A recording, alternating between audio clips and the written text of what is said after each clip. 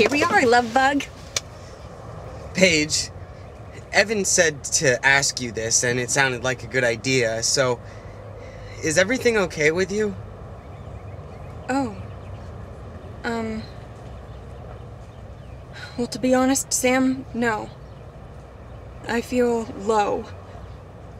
Lower than low. I mean, not only have my career and life prospects taken a massive nosedive, but I'm a little bit worried about us. Us? Yes. I mean, we're in completely different places. You're here at college, and I'm at a restaurant with a ball pit and a life size singing strip of bacon. I remember him. Terrifying. Yeah. Also, I've just never felt less attractive.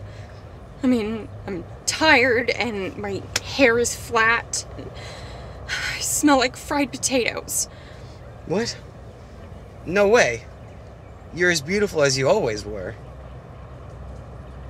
You think I'm beautiful?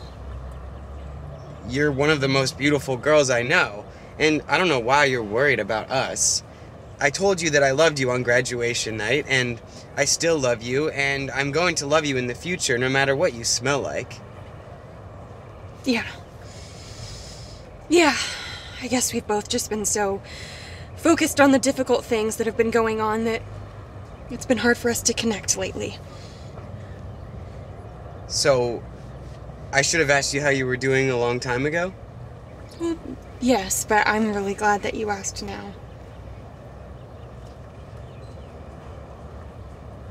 Hey, Sam. Is there anywhere on this campus that we could be alone? Things can get a little nutty in the dark.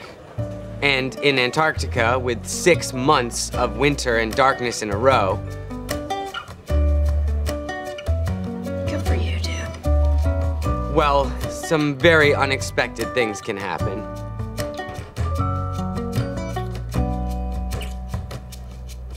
Hold on.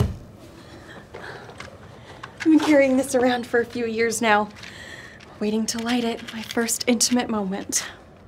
Intimate? I, I think candles are against dorm rules. Well, should we break the rules? For sex?